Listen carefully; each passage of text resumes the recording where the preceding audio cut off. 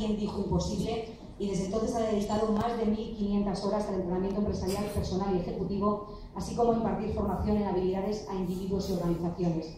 Es colaboradora habitual en diversos medios de comunicación, televisión, publicaciones empresariales, prensa ejecutiva o blogs especializados. Por ser una mujer que se ha reinventado con empuje y con iniciativa, premio de iniciativa empresarial para Elisa Oro. Lo entrega Luis Francisco Durán, presidente de CENOR.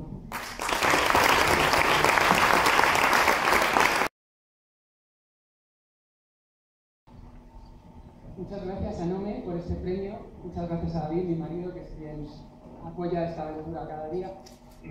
Me siento muy honrada de recibir un premio así, eh, porque es el primero de mi, de mi, nueva profesión como coach, que es bastante reciente.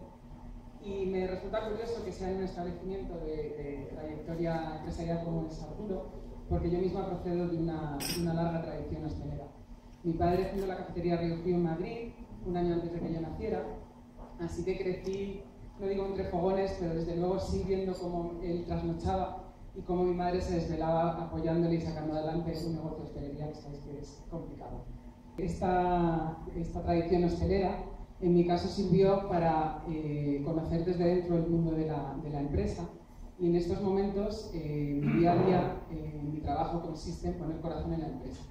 De mis padres aprendí ese espíritu empresarial y esa actitud eh, perseverante y sobre todo considerando que mi trabajo consiste en poner corazón en la empresa, debo agradecerles a ellos el corazón que pusieron en mí, sin lo cual este trabajo no habría sido posible y por ello le doy las gracias dedico este premio.